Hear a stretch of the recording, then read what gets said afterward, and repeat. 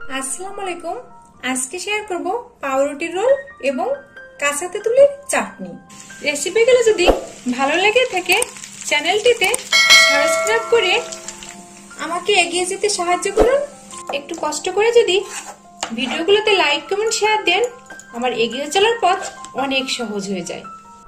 পাউরুটির রোলের জন্য পাঁচশো গ্রাম চিকেন কিমা, এক টেবিল চামচ আদা রসুন পেঁয়াজ পেস্ট, দুই চা চামচ সয়াবিন তেল, হাফ চা চামচ গোলমরিচ পাউডার, স্বাদ অনুযায়ী লবণ। একটু নেড়ে চেড়ে চুলা রাসটা মিডিয়ামে রেখে ঢাকনা দিয়ে ঢেকে দিলাম। কাঁচা তেঁতুলের চাটনির জন্য এক কাপ কাঁচা তেঁতুলের ডো, হাফ কাপ চিনি, ধনের পাতা, পেঁয়াজ কাঁচা মরিচ রসুন মিলে দেড় কাপ পেস্ট করে নিয়েছি।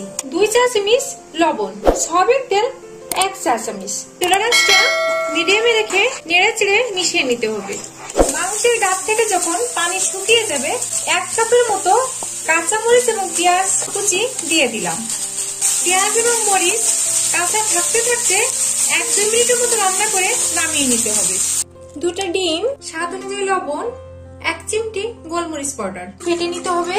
কিমা যখন ঠান্ডা হয়ে গেছে, হাত দিয়ে একটু চটকে নিলাম।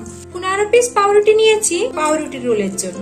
পানির ভিতর চুবিয়ে নিয়ে দুই হাতের তালু দিয়ে এভাবে চিপড়ে নিতে হবে। এক পিস ভিজা পাউরুটির ভিতরে কিছুটা কিমা দিয়ে এভাবে করে দুটো সাইড চেপে দিতে হবে। ডিমের ডোর ভিতরে এভাবে গড়িয়ে নিয়ে বিস্কিটের গুড়ার ভিতরে একটু গড়িয়ে নিতে হবে। আলতো হাতে চেপে দিতে হবে। সব থেকে ভালো হয় আপনি যদি টুথপিক দ্বারা একটু গেঁথে নেন। হালকা গরম তেলের ভিতরে রোলগুলো দিয়ে দিতে হবে।